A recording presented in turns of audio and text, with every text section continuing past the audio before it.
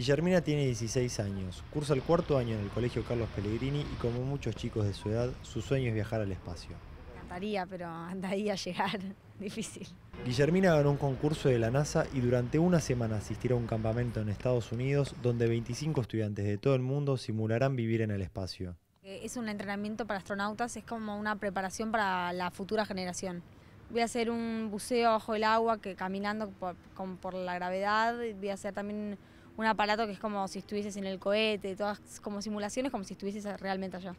Yo creo que esto, no, de cuando vuelva ahí, para mí no va a ser lo mismo. Por ahí va a ser como un antes y un después. Yo nunca confío mucho en mí misma y la verdad que ver que pues, con esfuerzo podés llegar a un lugar muy lejos que nunca pensás que podés llegar, me parece importante.